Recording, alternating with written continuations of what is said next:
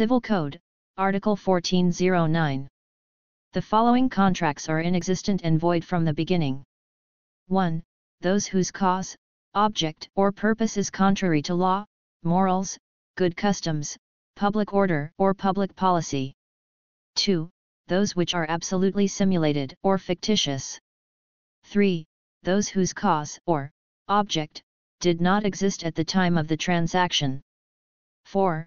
Those whose object is outside the commerce of men. 5. Those which contemplate an impossible service. 6.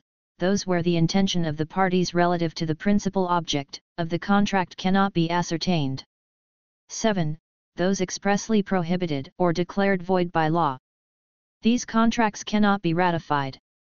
Neither can the right to set up the defense of illegality be waived. This is Legal Philippines.